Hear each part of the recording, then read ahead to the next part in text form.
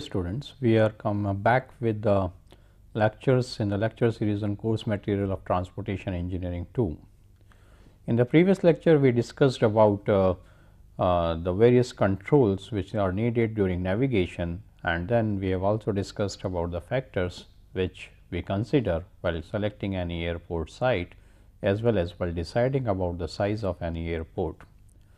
In continuation of the same, the another uh, feature which is of importance is to look at the type of the development which is taking place on the sites of any airport. We have seen during the consideration of site selection that it has its significance. In the light of that in today's lecture, we will be discussing about the airport obstructions. The airport obstructions will be discussed under the following headings, the airport obstructions, the imaginary surfaces, the height of objects in the approach zone and the turning zones. Apart from these, we will also looking, we will also be discussing about the various types of the flight rules, because we have seen in the previous lecture that it also has its effect in terms of the airport capacity. The flight rules which we have discussed there were the instrumentation instrument flight rules and the visual flight rules and we will like to see how they are different from each other and what they are. So, we will be starting with the, the airport obstructions now.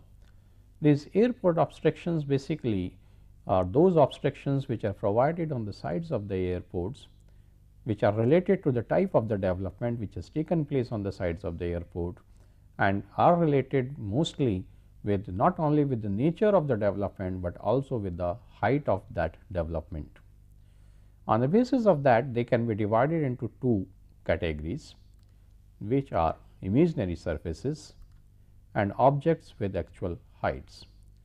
So, we will be discussing the two cases that is imaginary surfaces where we assume that uh, there can be any surface which may come up to this level and therefore, we have uh, uh, just marked some surfaces on any airport by which the uh, aircraft should move at the above of that particular surface only and if, if it is coming below of that surface then it may be uh, hazardous. Whereas, the other cases with the actual conditions where the type of the development is going in the vertical direction then what is the height of that development and uh, what can be the height in the light of the operation of the uh, aircrafts on any airport.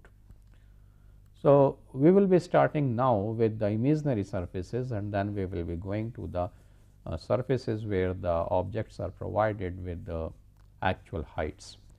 In the case of imaginary surfaces again there are different type of surfaces which we will be looking at and these imaginary surfaces are basically established surfaces in relation to the airport and to each runway above which no obstruction should project that is what it tries to speak out that for each and every runway on which the aircraft is going to uh, land or from where it is going to take off with respect to that one then we start looking at some of the imaginary locations in space which are assumed to be surfaces and the aircraft follows those surfaces. So, that there is no obstruction projecting within that much that area of navigation and this size of imaginary surface depends upon the category of each runway and the type of approach planned for that runway. So, these are the uh, factors which will basically be creating an effect on what type of imaginary surface of what magnitude of that imaginary surface is to be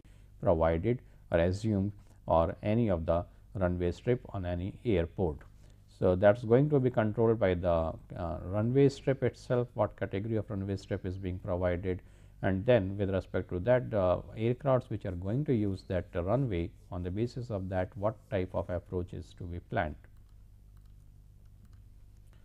Now, in this case the very first one is that uh, we have to look at the approach surfaces, then the other surface is the conical surface, then there is a horizontal surface then there is a takeoff climb surface and transitional surface. So, we will be looking at all these type of imaginary surfaces and how they are provided, uh, what are their use. This is one big diagram which is trying to show uh, the imaginary surfaces. here at the center of this one with this blue area that is being depicted by A, this A is basically the primary surface. Uh, this primary surface means uh, this is we can assume that this is the runway strip being provided on any airport and alongside this runway strip or the primary area we have shown the uh, marking this is a parallel line going on this side and a parallel line going on this side which probably shows the shoulder conditions and that is the total width of the runway strip being provided at this location. Out of this one then slowly and slowly the rest of the surfaces keep on coming out. So, in the direction of this runway strip we will be having uh, this location that is D and this D is nothing but this is the approach or departure uh, surface. So, this is approach or departure uh, clearance surface being provided here that is uh, this one this is uh, horizontal and we also have uh, another one which is uh, on this location which is basically at an angle which is coming from the uh, level of uh, this runway to the level of this one. So, it is in the horizon it is at an angle reaching up to this level and then it becomes horizontal. similarly, if we look at the other surfaces like there is a E surface being provided on the side of uh, the runway strip and this E surface is known as the inner horizontal surface being provided. Then similarly, this F, F is the conical surface means it is a truncated cone. This is a horizontal surface and then again we will be having a horizontal surface afterwards and in between this surface is a conical surface. It is trying to expand in the outward direction. Then we have the surfaces like a surface being provided here this one and the surface being provided here. These these are H uh, this shown by H. And these surfaces are the transition surfaces. Means that they are trying to provide a transition with from one surface to the other type of a surface. And uh, in between there there is a B being shown. This B is nothing but it is uh, known as a clear zone which is again at the horizontal level only with respect to this runway strip and it is an extension of this runway strip. So, the runway strip basically remains of this much size along with clearways and the shoulders being provided on the two sides of this runway strip. So, this is runway strip, this is white shoulder, this is white shoulder, this is clearway on this side and the clearway on the other side. And uh, uh, when we look at this horizontal surface, this horizontal surface is 150 feet above the airfield elevation where there is another G surface which is the outer horizontal surface. This is outer horizontal surface after the conical surface. This is at a height of 500 feet above the elevation of this airfield. Elevation of this airfield means the elevation of the runway strip. And then as we go further away, uh, what we reaches is that the distance which we have gone away up to in this direction is of uh, 90,000 uh, feet uh, that is how we have gone away this is the circular section will be at that much distance. Uh, similarly, in this side where we are looking at this approach surface which is trapezoidal in shape here at this end it is uh, 16,000 uh, feet uh, wider at this particular location. So, uh, all these surfaces we will be discussing one by one just uh, so as to give you an idea that how the various surfaces are and how they are coming out. So, the approach surface is with respect to this uh, runway strip only and in between there is a transition surface and the horizontal and the gliding approach surface then there is a uh, inner horizontal surface and there is a outer horizontal surface in between there is uh, of these two there is a conical surface. So, we will be discussing all these type of surfaces. We start with the approach surface. The approach surface is provided at the end of the landing side of runway that is what we have seen. It is trapezoidal in shape. It diverges away with upgrade as we are going upwards away from the runway strip then it is diverging outwards. So, that is how it is increasing in size. It is longitudinally centered on the extended center line of the runway. So, it is with respect to the center line of the runway uh, it is symmetrical in location. This is another diagram which tries to show you the same of the thing. Here the runway strip is being provided at this location if we go in this direction the runway strip is provided. So, that is the level of the runway strip. out of this after, after this one there is a clear way and then from the clear way there is a gliding surface which is going up and while it is going up it is expanding. So, this is a divergence it is this much wider here, but this is this much wider at this location. So, it is expanding outwards and then once it goes up to the certain level it becomes horizontal. So, that is the type of the surface which is provided and this is what is a uh, approach surface. On the side of this approach surface this gliding angle as we can see comes to this level after which the horizontal surface will come and then after some distance again there will be a conical surface and then again it will become horizontal. So, this this things also you can be visualizing very easily in this diagram where it is shown in the 3D form. Then further in the case of this approach surfaces the some of the specifications have been laid down here where this is length of horizontal projection of surface in meters and longitudinal upgrade in percent. And these are provided for uh, the two conditions that is ILS condition and non ILS condition that is uh, instrument landing system condition and non instrument landing system condition. Means the landing is being controlled either by the instruments or it is not being controlled by the instruments. It is a simple visual condition. In those cases what are the values. So, it depends on the type of the airport. For with respect to the category of the airport these values are for A it is 15,000 for ILS and 3000 for non ILS whereas uh, the upgrade is 2 percent or 2.5 percent respectively for the two cases. Then for B it is again remains the same value uh, throughout then for C again there is uh, the same value in the case of length of horizontal projection, but in the case of longitudinal upgrade it is 2 percent and 3.3 percent respectively for ILS non, non ILS condition. Then for uh, category D uh, for non-ILS condition it is uh, being defined as 2200 meters uh, whereas uh, for the longitudinal upgrade it is uh, 4 percent and for E it is 16,000 and 5 percent respectively.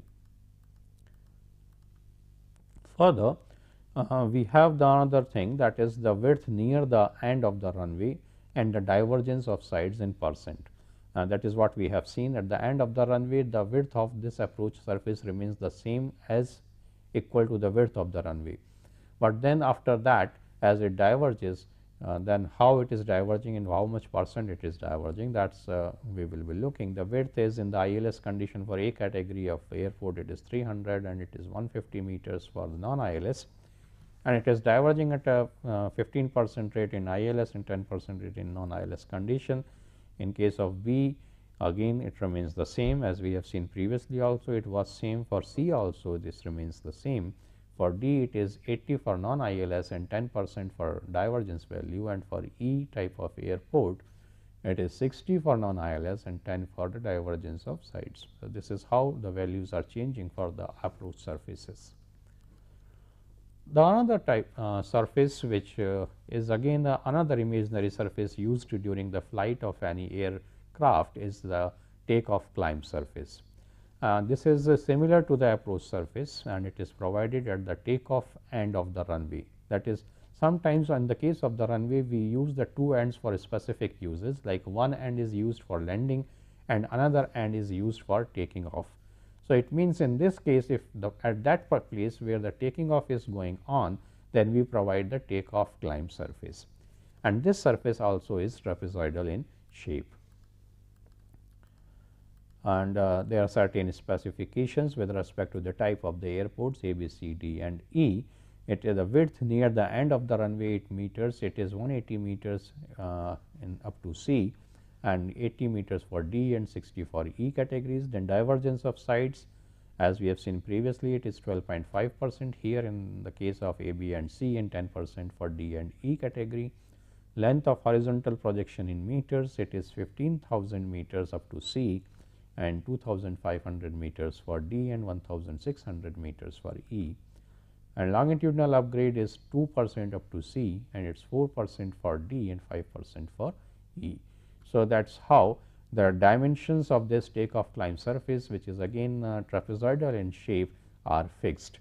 And with respect to these particular upgrade rates and the length in which it is moving. So, if it is if we assume it like this that this is uh, the size of 180 meters at this level and we are going away like this in this direction then if we move 15,000 meters then after 15,000 meters if we keep on going at a rate of 2 percent means uh, for all these 15,000 for every 1000 meters we are increasing 20 meters in height. So, if we are this is 15,000 meters it means 2 percent of this will be 300 meters. So, by the end of 15,000 meters it will rise to 300 meters and then at that location because it is mm, going in the outward direction diverging. So, the size will be defined again on the basis of this value that is 12.5 percent for every 100 uh, and the it becomes wider by 12.5 meters. So, this is uh, another diagram where we are trying to show uh, the same sort of the conditions in the composite form that is how it is happening that this is the air uh, runway strip, this is the clear way then it is increasing in dimensions like this. So, that is a variation trapezoid form going upwards also as well as it becoming more wider at this side as we go away. So, this is 15,000 meters on horizontal and at this point if we take the height like being shown here then it will be 300 meters and then at 12.5 percent rate it is coming outwards in this direction and in this direction. And similarly, we can see the elevations being shown here this is going up or going up like this then it becomes horizontal. So, this is a transition phase which we can see at this location small one or we can see a bigger transition phase area facing us this one h and then after this again it becomes conical. So, it is rising we can see the height at this side and then it becomes horizontal. So, this is a conical surface, this is a horizontal surface. Now, we look at the horizontal surface. This horizontal surface with, uh, extends from the upper edge of the transition surface that is what we have seen and it ends at the lower or inner circular edge of the conical surface because just after the horizontal surface if we look at uh, the initial horizontal surface then at the end of this one the conical surface is starting. The height of uh, outer horizontal surface extends from 150 meter above the ARP elevation. This is the airport reference point ARP. For every airport there is a reference point uh, with respect to which the elevations are taken and that is known as ARP elevation.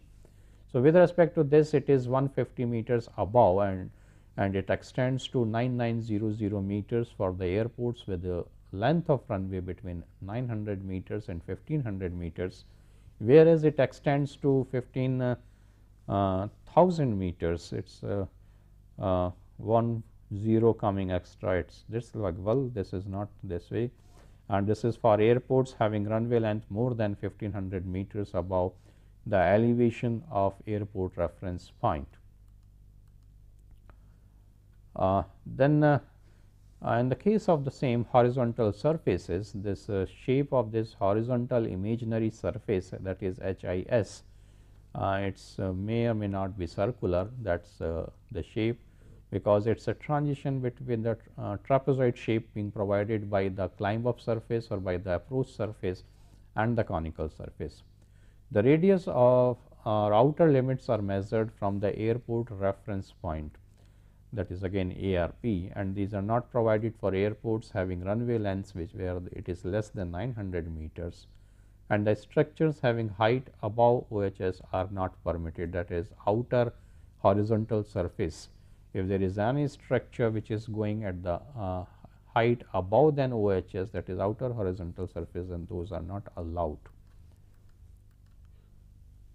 Then uh, we come to another imaginary surface that is transition surface. This transition surface uh, uh, again is trapezoidal in shape and it extends uh, along the landing strip and it slopes out upwards and outwards to the uh, in inner side of the that is inner horizontal surface IHS uh, that is what again we have seen that if we go from the inner uh, horizontal surface to the outer horizontal surface then it is extending in the outward direction and it is going up.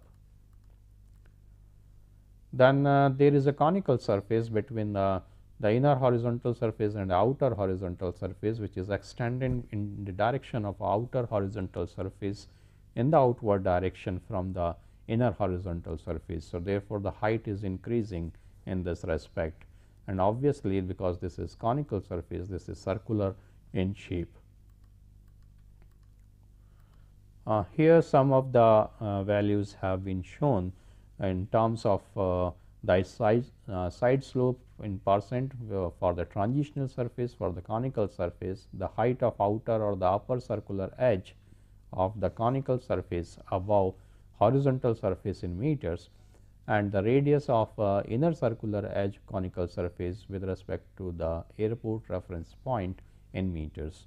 So, for the category A the values are 14.3, 5.0 that is in percent 100 meters and 4000 uh, meters that is uh, for the first case. Similarly, for the second case that is B the values remains the same and for C there is a change in the value of the height of outer or upper circular edge which becomes 100 meters instead of uh, 75 meters instead of 100 meters. Then for D this value is uh, changing and uh, the value becomes 20 as a side slope for the transitional surface though for conical surface it remains the same. Similarly, there is a change at height of outer or circular edge that is becomes 55 meters and the radius of inner circular edge becomes 2500 meters. Then for E, uh, the values for the side slopes remains the same as D, but here in the case of height of outer or upper circular edge it becomes 35 meters and for radius of inner circular edge it becomes 2000 meters. Uh, this is another diagram which is trying to show how uh, the values are going away and it has uh, two sections that is one section being taken in the longitudinal direction in AA and another section is taken as in transverse direction of that that is BB. And uh, if we look at the diagram with respect to this one because here we are talking as uh, this is the landing area and this is the takeoff condition. So, in this side there is an approach zone and on this side this is a takeoff climb zone. So, that is the difference in this case and this landing strip is being shown or takeoff strip is being shown at the horizon, uh, horizontal surface. So, we will look at the sectional view of uh, these in the case of uh, AA which is uh, along the uh, longitudinal direction of the runway strip. So, the runway is at this level then there is a transition condition like this then it becomes horizontal at this position, but it remains uh, a little climbing condition here. So, this is horizontal surface then there is a conical surface. So, the conical surface is also coming at this location too and then there is a takeoff climb surface which is going upwards like this in a trapezoidal form whereas here there is a horizontal approach surface being provided. So, that is the sectional view how the elevations are changing as we go away from the runway strip in the outward direction and away from the runway strip. Uh, this is another section which is being cut at the 90 degrees of this one and what we look at that at uh, this point if we are looking at then we will be looking the width of the runway strip. So, at the bottom we are looking at the width of the runway strip. Then there is a transition side. So, this transition side is inclined and therefore, we look at the small transition side. After that transition side then we have the uh, surfaces like inner horizontal surface and we have the conical surface and then we have the outer horizontal surface. Then in the case of the approach zone or in the case of uh, uh, the climb of uh, climb up zone, we will be looking at the loca uh, certain locations where it is increasing upwards and uh, it is increasing in dimension in the width like this and finally further it increases and becomes much wider and that is what is the overall approach section which we can see like this as being shown here. So, that is how the elevations in these two directions are changing and this is how the heights keep on varying. Uh, this is the overall view of uh, the same uh, airport that is of uh, this is the runway strip being provided and this is how the things are changing. If you go this direction if you go in this direction uh, we can see this is the approach surface instrument condition whereas this is the takeoff climb condition. So, this is provided like this. Then there are the transition area being provided at this location being provided here being provided here or provided here and this is 3000 meters. For ABC slope is 2 percent. Then uh, this is 45 meter variation in this level. Uh, then slowly and slowly we are moving further. We have with this is 12000 meters for A, B and C with a slope of 2.5 percent. That is how it is moving further. This approach surface non instrument runway slope for 2.5 percent at 3000 meters. For A, B 3.3 percent. For 3000 meters at C or 4 percent uh, for 2500 meters for D and 5 percent or 1600 meters for E category of uh, runway strip. Here the transitional surface slopes have been shown as 14.3 percent for A, B and C and 20 percent for D and E. This is for this area. And if we look at this uh, inner horizontal surface then uh, it is varying and it is uh, 2000 meters for E, 2500 meters for D and 4000 meters for A, B and C. So, this is the size which is going in this form and the conical surface is having a slope of 5 percent like this and then again it will be extending in the horizontal direction. Now, we come to the next type of uh, airport obstruction that is objects with uh, actual heights. Uh, in this case uh, any object which ex exceeds the certain limiting height above the ground is considered to be an obstruction for air navigation. So, we have to control all these heights. So, any object within 4.5 kilometer distance from the runway end is considered as an obstruction if its actual height is more than 30 meters above the ground or above the level of approach end of runway whichever is higher. So, with respect to the ground or with respect to the level of the approach end of the runway, we have to look at out of these two whatever is higher from there uh, taking as a reference if we consider 30 meter height at a distance of 4.5 kilometer then that is the height of an object which can be there in the vicinity of any airport within this distance. Further, any object which is located beyond a distance of 4.5 kilometer from the runway end is considered as an obstruction if its height above 30 meter increases by more than 7.5 meter for each additional 1.5 kilometer distance from the runway. So, after 4.5 kilometers for every 1.5 kilometer distance above this 30 meters the value is plus 7.5 meters. So, this is how it will keep on increasing. So, at a value at a distance of 6 kilometers it is 37.5 meters height. So, within 37.5 meters height the development can take place, but nothing can have a height of 37.5 meters or more than that.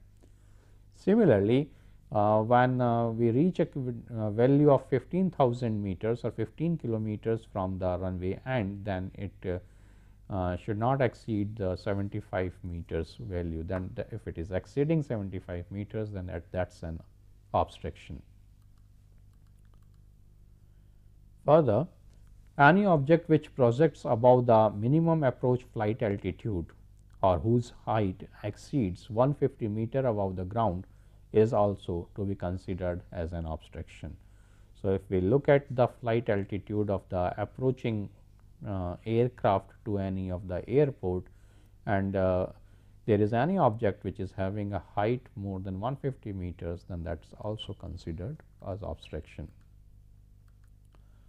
Uh, this is one of the diagram which tries to show how the airport obstructions can be talked about and this is the runway strip being shown at this location a dark uh, black line and this is the normal flight path of any aircraft. So, the aircraft will be going like this this way. Now, we are looking at this strip and then uh, uh, this is the clear way for the strip in this direction and uh, this is the distance up to 60 meters we go. Uh, then uh, from this 60 meters uh, here we are talking about a slope and this slope is uh, different from different conditions. It is 50 is to 1 for instrument runway, it is 40 is to 1 for non-instrument runway in the case of large airports and it is 20 is to 1 for small airports.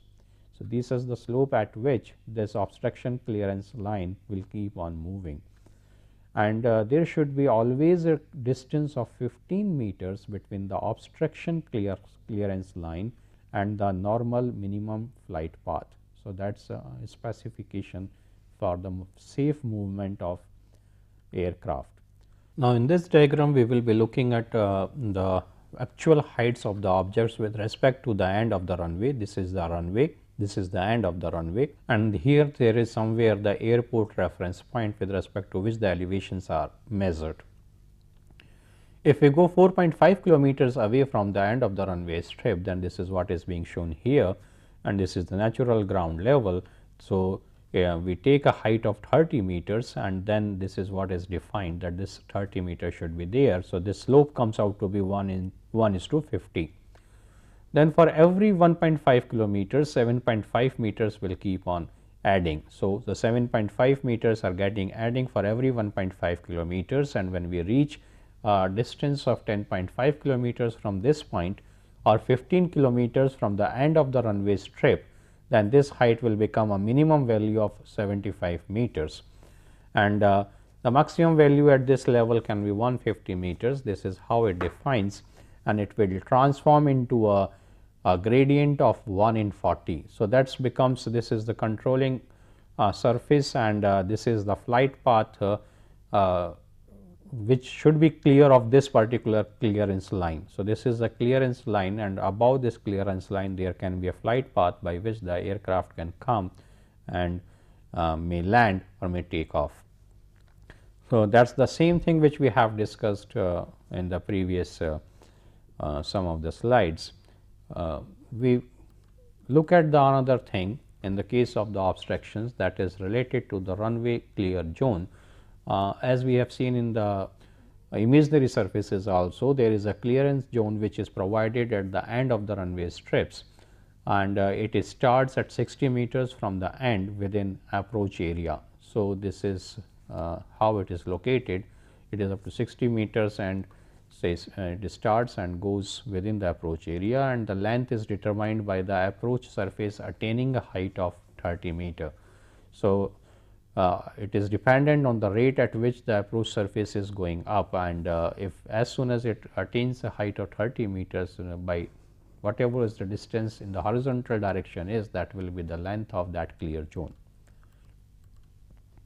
Uh, we look at some of the dimensions of the run clear zone that is uh, uh, dependent on this the type of the runway the instrument runway or the non instrument runway uh, where W 1 W 2 or L means uh, W 1 is uh, the width of that trapezoidal area being provided at the end of the runway strip after 60 meters and W 2 is the uh, width of the clear zone after it has moved a distance of L that is 750 meters in the case of instrument runway strip. So, this is for instrument runways whereas for the non instrument runways where the it is dependent on visibility if the visibility is as low as 1.25 kilometers then it is uh, W 1 is 300 meters, W 2 is 435 meters and L is 510 meters where the visibility is greater than 1.25 kilometers then it will be reducing to 150 meters, 303 meters and 510 meters respectively. Then the approach for utility is uh, 150 meters, then 240 meters and 300 meters respectively. In the visual approach for a larger than utility, this is defined as uh, by the values of uh, 150 meters, 210 meters and 300 meters and the visual approach for utility it is defined by the values as 75 meters, 135 meters and 300 meters. Uh, this is the diagram which shows the clear zone. This is the runway strip. After 60 meters from the end of the runway strip, the clear zone starts. So, this is the width of the clear zone W 1. When we are moving in this direction, this is the approach area. Within the approach area, the clear zone is provided. So, this is having a shape of a trapezoid and once we move a length of L, it will be having a width W 2. So, these are the values which we have seen W 1, W 2 and L in the previous discussion only. Uh, this is uh, uh, another uh, figure which is trying to show the approach area along with the uh, clear zone condition area and then the dimensions which needs to be provided. Uh, here we have this value of A, this A is the distance from the end of the runway strip to the start of the clear zone, then what is the width of the clear zone at this position is defined by B. What is the uh, uh, width of this approach zone? When it becomes horizontal that is defined as C, then the distance between these B and C is defined as D. And then after that when it becomes horizontal then what is the distance up to which the horizontal is extended is defined as E and in this is in the elevation condition. So, this is 1 in 20 elevation grade being provided starting from this uh, 60 meters away or distance a away from the end of the runway strip and this should clear the obstacle, obstacle being provided in between. So, that is how the obstacle is being defined here. So, the dimensions they are being given in feet are in the case of a small aircraft or in the case of the large aircraft they have been defined here and uh, they vary and what we found is that this distance d is two to 2250 for small aircraft, but it is uh, 1500 for larger aircraft. So, this has to take a higher flight path as compared to the uh, smaller aircraft which have less of the propulsive power and therefore, they go at a lower flight path. Then we come to the turning zone in this case it is used in the case of emergencies for turning of aircrafts and uh, any object which is located within a distance of 4.5 kilometers from the ARP is considered as an obstruction if its height exceeds 51 meters above the ground or the established airport elevation whichever is more. So, with respect to these two values that is the ground level or the airport elevation, uh, if we take a height of 51 meters at a distance of 4.5 kilometers, then anything which is projecting out of this is uh, an obstruction for those aircrafts which are required to take a turn because of the emergencies during taking off. Then these are used in the case of emergencies for turning of aircraft and any object which is located beyond a distance of 4.5 kilometers from the ARP is considered as an obstruction if its height exceeds 51 meters plus 30 meters for each additional 1.5 kilometer distance from ARP. So, if we are at a distance of uh, uh, 6 kilometers then it becomes 81 and so on and if it ex exceeds 150 meters with a distance of 15 kilometers from ARP. So, this uh, value remains the same as uh, we have discussed in the previous case.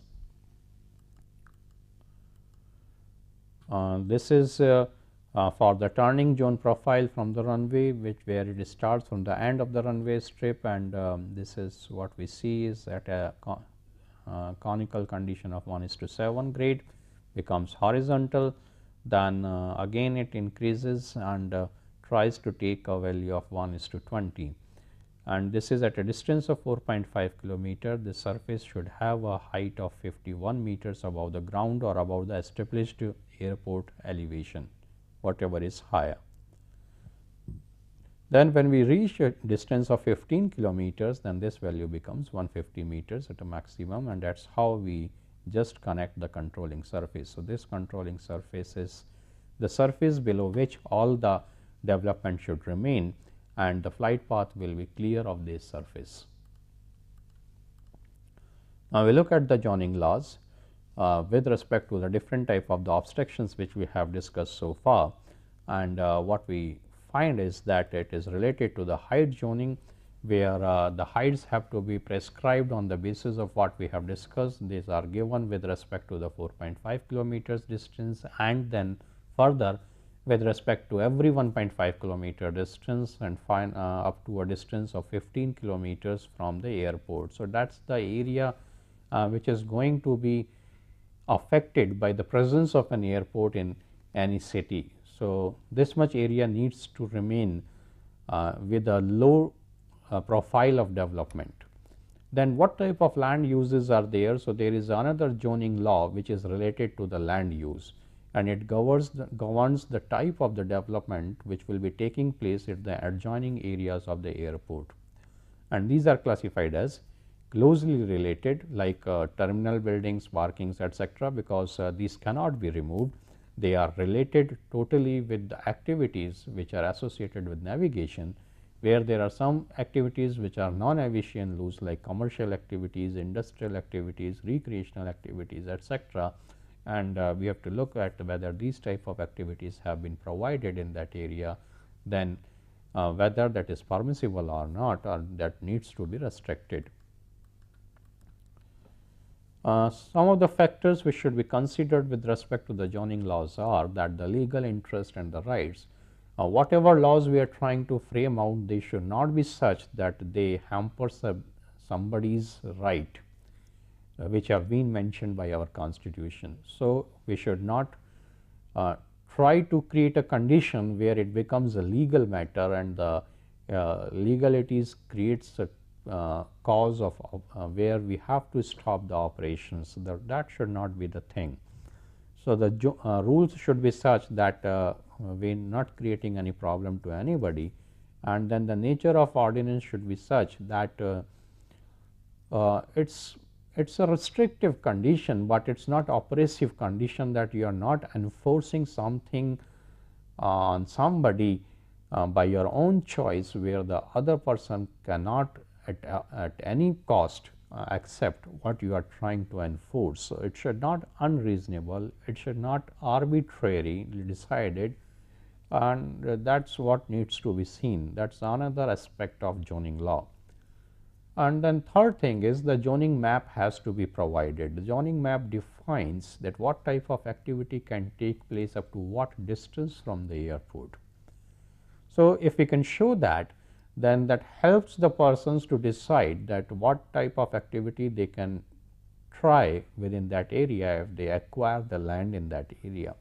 So, it should show the property line, it should show the land use patterns, it should show the permissible heights, it should show the limits of the zoning laws etc. Apart from these, uh, the another aspect which we will be discussing today is uh, the rules which are related to the flying of the aircraft. Uh, these rules uh, they bring in a certain degree of uh, orderness in the aircraft movement in airspace from the time of takeoff to landing and they maintain the safety by applying separation standards between the aircrafts which are moving simultaneously in the airspace. So, that is what is the advantage of having the rules related to flying of the aircrafts.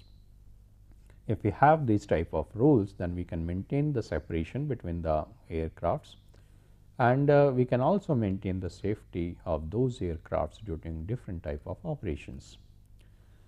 In this light, there are two types of uh, flight rules available. The visual flight rules which are in short generally termed as VFR and instrumental flight rules which are in short again termed as IFR. So, we have a VFR and IFR rules.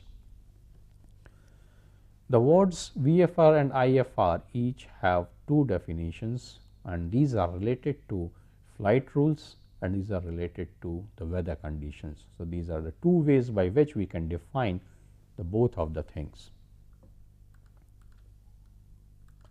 we look at the flight rules. With respect to the flight rule, the VFR can be defined as the VFR flight rules are established by the Federal Aviation Administration that is FAA and they generally speaking with the exception of certain controlled airspace restrictions, one can do within reason what one wants.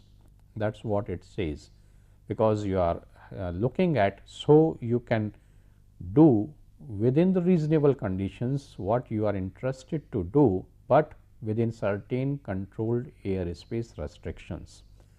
To fly VFR, a flight plan with a few exceptions is not required, because uh, it is a condition where you are looking at the other and trying to operate your vehicle. So, that is the flight rule condition for VFR. Whereas, in the case of IFR, the I says that the IFR flight rules are uh, again they are being established by the Federal Aviation Administration of US and they can be quite complex and may cover most every aspect of the operation. To fly IFR a flight plan is required because uh, the everything is going to be controlled by the instruments and in this case uh, those flight plans will be required so as to earmark the various specifications which will be required during the flight and that needs to be fed to the instrument. So, that is why it is a complex condition, but then it is a more detailed aspect of operation and take care of each and everything.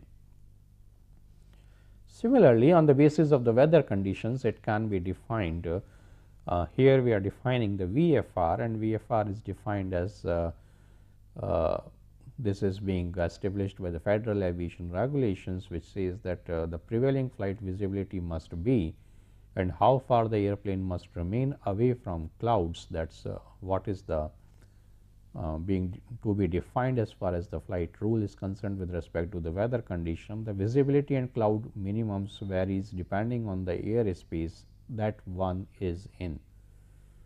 Generally speaking, if the ceiling or the broken or the overcast cloud base are more than 1000 feet above the ground, then the visibility is 3 miles or more. The weather is VFR. So, that is how it defines in the case of the weather condition. In the case of weather condition again uh, uh, if you have been vigilant and you have read and you have heard the news items also and there is uh, speaking that uh, the flight rules related to the weather conditions on the in, uh, Indian international airports are quite stringent and all the uh, airlines global airlines are requesting the um, Director General that uh, this should be reduced from a present value of uh, somewhere around 200, 250 uh, or 300 meters to 50 meters. So, uh, that is a distance by which the aircrafts can come very close to each other. Then in the case of IFR the for the weather condition it is in uh, form of generally speaking if the ceiling or the broken or the overcast cloud base are less than 1000 feet above the ground and oblique or the visibility is less than 3 miles the weather is IFR then that is termed as that if uh, the visibility becomes less than 3 miles then it is to be controlled by, uh, by the IFR condition. If it is more than 3 miles then it can be controlled in terms of VFR condition. So, the complete definition becomes that uh, the visual flight rules are a set of aviation regulations under which a pilot may operate an aircraft in weather conditions sufficient to allow the pilot by visual reference to the environment outside the cockpit to control the aircraft's altitude, uh, navigate and maintain safe operation from obstacles such as terrain, buildings and other aircraft. So, that is what is the complete definition which takes into consideration the flight uh, rule as well as the weather condition both of the things. Similarly, in the case of VFR this is uh, the essential collision safety principle uh, guides the VFR pilot and this is termed as see and avoid. So, this is what is the safety principle in VFR condition. You look at and try to avoid the collision. In a strictly controlled airspace, the air traffic control will separate VFR air traffic from all other aircrafts. Uh, the minimum meteorological requirements for VFR are termed visual meteorological conditions. So, if we are operating under VFR conditions, then the meteorological conditions related to that are termed as visual meteorological conditions. So, this uh, VFR or the controlled VFR flight is used in locations where aviation authorities have determined that VFR flight should be allowed, but that ATC separation minima and guidance are necessary in this case and the CVFR concept is used in Canada and Europe, but not in US where the private pilot certificate itself authorizes the pilot to accept clearances under VFR condition. In the case of IFR, the complete definition is something like the instrument flight rules is a set of regulations and procedures for flying aircraft without the assumption that pilots will be able to see and avoid obstacles, terrains and other air traffic. So, that is a case in this one and we are not assuming that the pilots will be able to do all these things and therefore, the instruments are required to define that. Since navigation and control of the aircraft under IFR is done by instruments, the flying through clouds is allowed. Then commercial traffic that is a flight carrying paying passengers and cargo operates under IFR almost exclusively because if there is passengers or cargo then uh, in that case IFR is generally used. In the case of IFR, there is a certain separation needs to be maintained and that is the distance which is achieved when avoiding obstacles or other aircraft and this is what is separation. In controlled airspace, the air traffic control that is ATC separates IFR aircraft from obstacles and other IFR aircraft by applying separation based on time, distance and altitude differences between aircraft. This is how the two aircrafts are made are separated from each other. It is maybe on the basis of time, maybe on the basis of distance or the difference in the altitude. By relying either on radar or reports of aircraft positions traditionally sent as voice radio transmissions by the pilots basically, but increasingly as electronic data exchanges. Okay, now, uh, slowly and slowly the use of more of the electronic devices is increasing and we rely on the information which is being gathered by such devices and accordingly decide what needs to be done. Uh, in the case of uh, weather condition in for IFR, the one advantage is that its ability to fly an aircraft in uh, instrument meteorological conditions. In the previous case where the meteorological conditions were defined for VFR, it was visual meteorological conditions, here it is instrument meteorological conditions. The weather conditions that do not meet the minimum visibility requirements for VFR that is what they are being defined as. In such conditions, the pilot will control the altitude of the aircraft by watching the flight instruments and will rely entirely on the ATC for separation. So, ATC the air traffic control system will be providing the information for maintaining the separation between the aircrafts or the obstacles and the altitude will be maintained by the pilot using the electronic gadgets being provided on board. Further, during the flight during FIR, there are no visibility requirements and as such the flying through clouds is permitted. There are still minimum conditions that must be present in order for the aircraft to take off or land. Then there is uh, uh, related to navigation under IFR. Uh, the primary means of navigation is via radio beacons on the ground such as VOR and NDB although GPS is rapidly taking over. So, um, the we are relying for navigation mostly on the beacons or we are nowadays slowly and slowly moving to the uh, geographical positioning systems being provided for the navigation.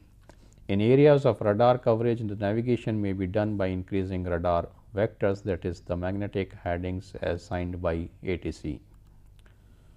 This is one of the primary ways for ATCs to provide separation between aircraft and to sequence them for landing that is how one, one after the other the landing will take place. Then uh, there are certain IFR procedures. There are three stages to an IFR flight. First is departure, then en route means during the flight and approach. The departures are described by simple departure procedures normally providing an initial heading and altitude or for busier airports by standard instrument departures providing more detailed instructions often accompanied by diagrams or charts. Uh, that is the way how the departures are scheduled. In the case of en route flight, it is defined by IFR charts which shows navigation aids, fixes and standard routes called airways with minimum safe altitudes for each segment. Then further for the third stage that is approach these are described by terminal procedures often called approach plates describing a series of steps and segments to make the transition from en route flight to a position where the aircraft can complete a landing visually often from a low altitude and close to the airport. So, that is how the three type of the procedures are defined in the IFR condition. Uh, this is uh, just uh, the case of IFR where we have an easy to read chart for IFR being provided where it defines the air, uh, various classes of air space on the basis of entry requirements, the pilot qualifications, the radio communications, the type of VFRs allowed uh, with respect to weather, with respect to flight and uh, uh, likewise values. This is the case being used in the US. Then uh, there is another chart or this is a sectional chart which tries to define this is one airport, this is another airport. Here it tries to define the type of the development which can take place and uh, uh, the circles are being provided in terms of the uh, distances in terms of the altitudes which can be taken by the pilots. So, this is uh, these are provided to the pilots and they know how they move away what needs to be done. So, these are the different things which are done in the case of fly rules as far as the VFR and IFR conditions are concerned. Uh, this is what we have discussed today is uh, that uh, uh, we have looked at the various type of obstructions which can be there for uh, any safe movement of uh, aircraft while landing or takeoff and these can be segregated as we have seen in the imaginary conditions and, and the objects with the height and then we have looked at the various type of the fly rules. We will be stopping at this position and uh, will be discussing the certain other aspects in the coming lecture. Till then goodbye and thank you.